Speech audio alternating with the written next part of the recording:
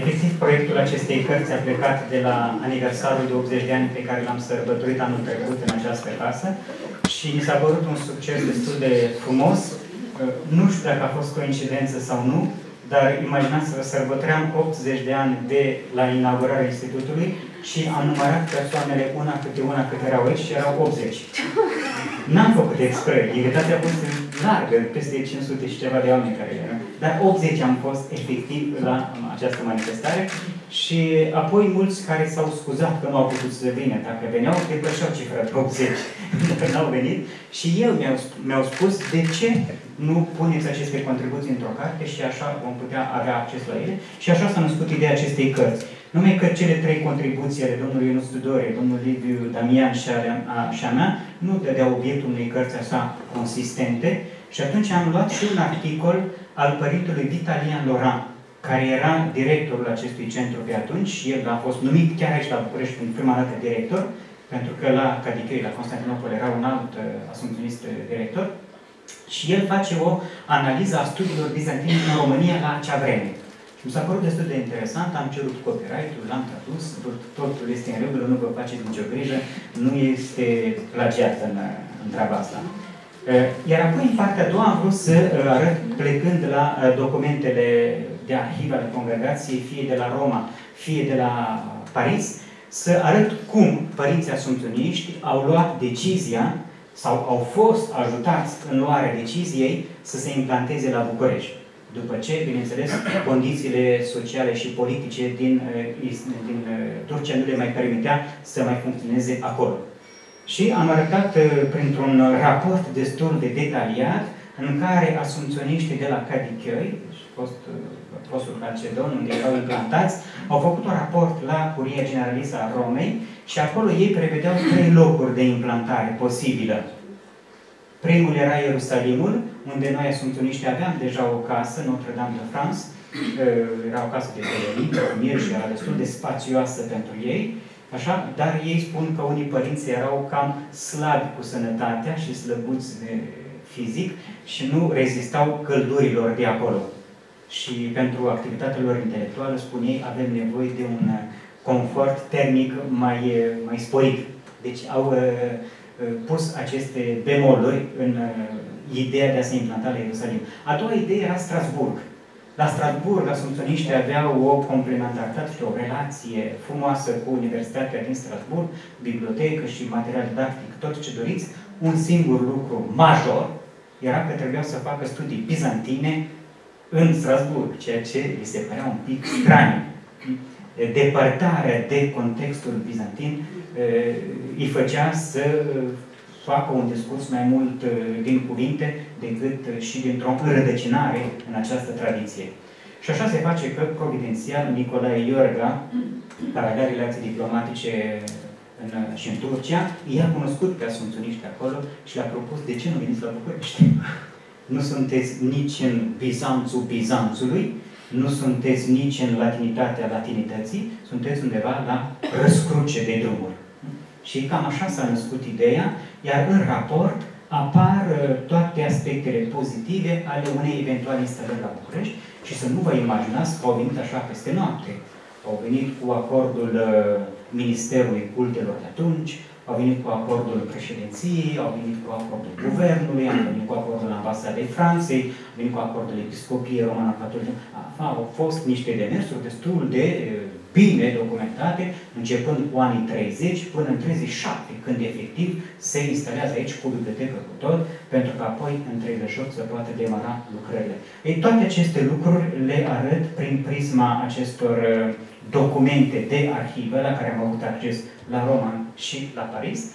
Și în ultima, și apoi mai sunt niște mici istorii cum asuntuniștii ar fi vrut să aibă și anumite implantații la Cluj, de pildă, în colaborare cu surorile oblate asumpționiste, pentru o casă de tineri, informare și mai departe, sunt rapoarte întregi care erau prezentate de aici, de pe teren, fie la Paris, fie la Roma, unde superiorii noștri trebuiau să ia decizii în acest sens. Unele proiecte s-au realizat, alte proiecte nu s-au realizat. Totul este transparent în această documentație. Majoritatea documentației deci, este în limba franceză, dar sunt și unele documente în limba română, de pildă, Părintele Vitalian Loran ducea lipsă de fonduri. Părinții asumționiști aici erau foarte săraci. Ne? Din punct de vedere al veniturilor substanțiale, nu erau bogați deloc. De aceea i-au și prins securiștii, în primul rând, în 47, pentru că locuind în această casă și adăpostindu-l pe Cam, Camil Demetrescu, așa, mama lui Camil Demetrescu aducea de mâncare la părinți pentru că nu puteau să-și hrănească trupele, nu? Și așa, securitatea s-a luat după mama lui Camil Demetrescu și i-au găsit în această casă și casa a fost naționalizată. Deci ducea o situație financiară super precară și avem niște documente în care Părintele Vitalian Ora face apel la, fie la Guvernul Franței, pentru sponsorizări, fie la Ministerul de Culte al României, pentru a spune că lucrarea pe care ei o fac în această casă este o lucrare care valorizează cultura și inteligența română și că uh, ei uh, se cuvine să îi ajute cât de cât la aceste sponsorizări. Deci avem o întreagă documentare de arhivă în acest volum și la sfârșit, după cum semnala și Andrei, am cerut la câțiva prieteni mai apropiați să ne împărtășească din gândurile și din, știu eu, cum văd ei desfășurarea activităților în acest centru, cu precădere după uh, revenirea noastră, dar am pus și unele mărturii din trecut. De pildă, uh, Părintele Martin Juji a scris o lucrare despre Euharistie și despre famoasa teologie, despre care am auzit aseară un pic, transubstanțierea. Și a plăcut atât de mult papei, uh, cred că fiul al 10-lea, dacă nu mă înșel, sau de acolo, încât s-a simțit obligat Papa, prin delegații suse, bineînțeles, să dea o mărturie Părintele Martin Juji, pe care eu am pus-o aici, în această lucrare. Da?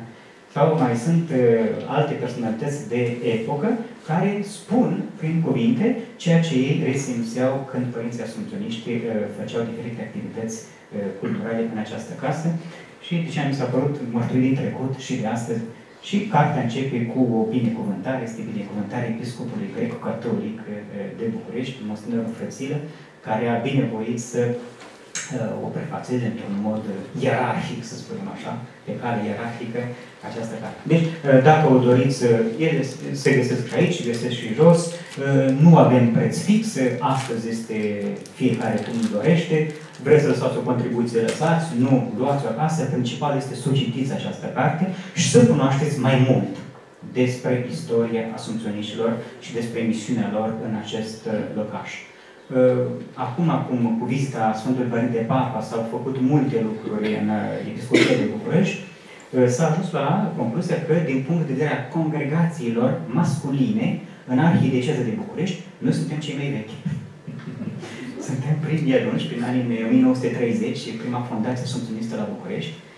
Ceilalți care erau înainte, de pildă, pasioniștii sau mai erau lazariștii, nu mai sunt astăzi. Deci unicii care au rămas așa pe teritoriul îmbătrânit al episcopiei suntem noi Sfântuniști. Este o mândrie pentru noi. De aceea, în 2000, între 2008 și 2010, când asuntuniștii se gândeau să revină în această casă, după ce au redobândit proprietatea asupra casei, Preasfințitul Robul ne-a primit cu brațele deschise, zic că sunteți la voi acasă. Și apoi un alt aspect este că din punct de vedere canonic, această casă din București nu a fost închisă niciodată de congregația noastră. De aceea ne vorbim în anul 2010 când am revenit, că am revenit, nu am redeschis. Sau nu am deschis casa din București, am revenit unde eram. A fost o pauză de 64 de ani, dar am revenit în casa în care locuiam și am continuat, am încercat să continuăm misiunea pe un ton mai modest, să spunem așa, decât a fost în trecut, dar încercăm totuși să păstrăm un uh, nivel care să fie îmbogățitor, atât pentru oamenii care uh, sunt, uh, să spunem așa, din lumea largă, din științele profane, cât și pentru lumea care provine din domeniul acesta al teologiei și al filozofiei, de unde și tema acestui forum. Deci, vă mulțumesc dacă luați această carte, vă mulțumesc dacă o citiți și vă mulțumesc dacă îmi trimiteți reacții, păreri, așa. Poate la anul cu această temă de astăzi va, apare, va apărea un alt uh, volum cu cele, uh, cele discutăm astăzi. Vă mulțumesc de suflet!